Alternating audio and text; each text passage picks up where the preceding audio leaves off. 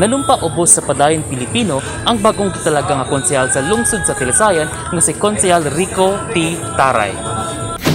Atubangan kang Governor Bambi Mano nanumpa ang bagong konsehal sa lungsod sa Talisayan, Misamis Oriental nga mao si Rico Taray.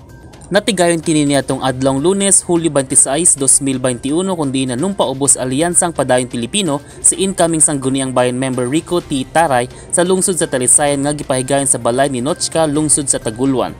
Gitambungan kini nila Attorney Nadia Imano, Talisayan Mayor Romel Maslog ug Provincial Bids and Awards Committee Head Mr. Stanley Oriarte.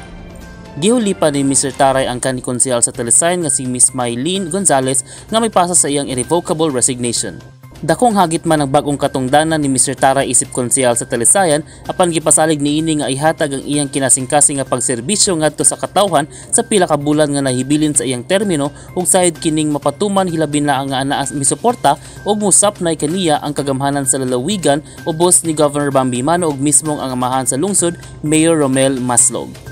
Ako si Johnny Obshoma Jr. alang sa limpyog mataro nga panggobyerno, Padayon Pilipino.